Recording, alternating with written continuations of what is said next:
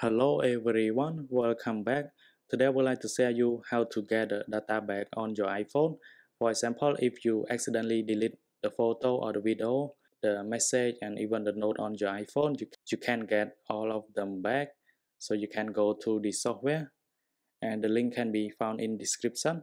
And when you open it, on the left side you have five options to choose from. So you have Smart Recovery, which is you can do with one click and this one you can recover from iOS device and the next one you can recover from iTunes backup and this one you can recover from the iCloud backup.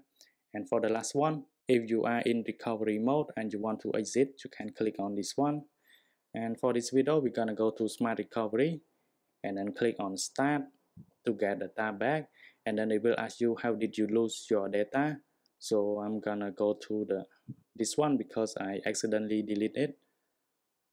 And it will scan for your device so make sure your device is connected. So I have iPhone SE so then click on next then you need to choose which data that you want to get back. So I'm gonna go to so I'm gonna go to photo and add photo and then I can click on scan. And for the process it may take some time depend on the data on your device.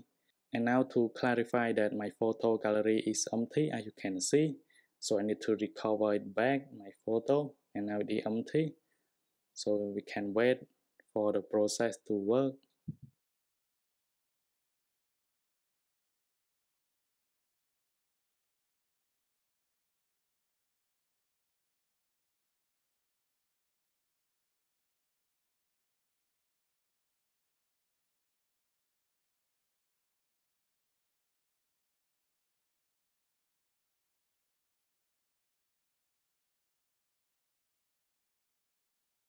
And now after the process and you can see all of the photo and we can get it back after the recovery process.